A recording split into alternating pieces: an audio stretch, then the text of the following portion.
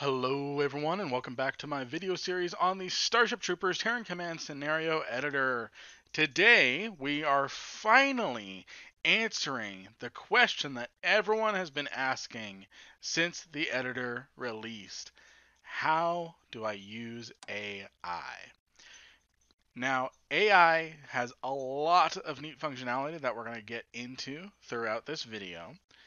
First, it all starts with creating an AI group.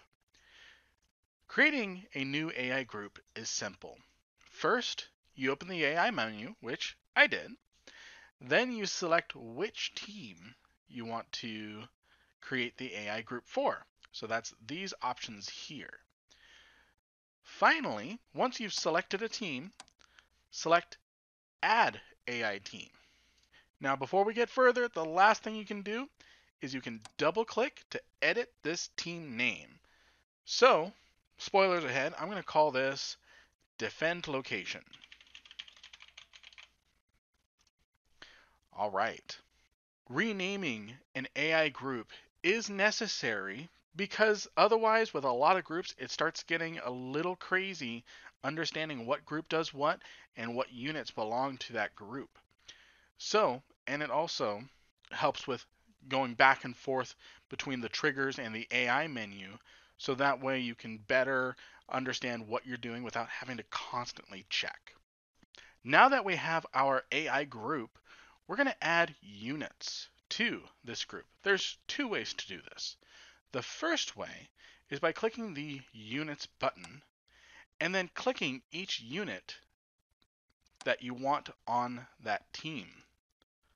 So that's one way to do it. The other way to do it is using a trigger.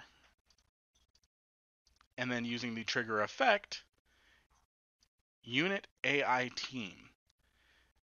Now you can select a unit from the trigger or use a blackboard name if you have one set up. And then you can select the AI team. Now, it's very important to note that you do need to select the appropriate player team in order for AI to populate in this list. So because we don't have any AI groups set up here in the blue team, there are no options for us. So those are two ways that you can add a unit to an AI group.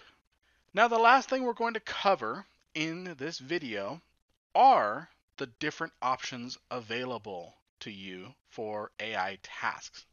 So here are the brief rundowns. None. As the name implies, the unit does nothing. This is useful if you want the want to group units for a task that you will later execute using an effect. Attack nearest. Again, quite straightforward the AI group will attack the nearest hostile unit, whether they have vision or not. This works across the map unless you set a maximum distance through this setting here. Patrol area.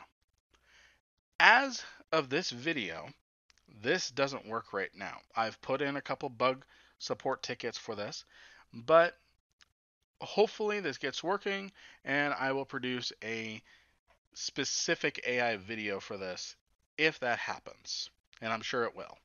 Aristocrats, I see you doing amazing things. Move to location. Functionally, this works exactly like unit order move effect over in triggers.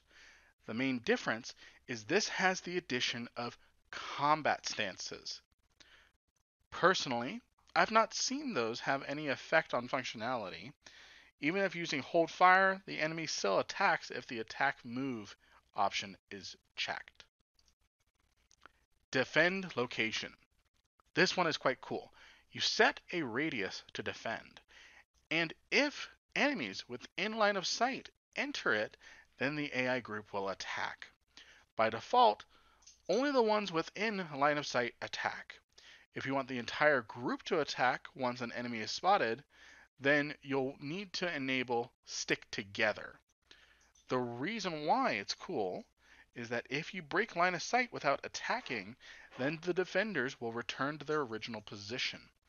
In addition, they will spread out in that radius to cover all the areas in there. So they'll spread out somewhat evenly. Idle. Similar to the move to location task, but here the combat stances actually impact behavior.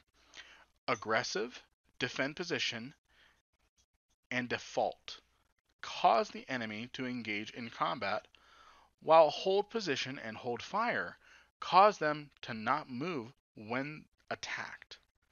The aggro as group setting works a lot like stick together, where all the units in the group attack when an enemy is spotted. Some final notes. These tasks can be set from the AI menu or can be set on an existing AI group by using a trigger effect.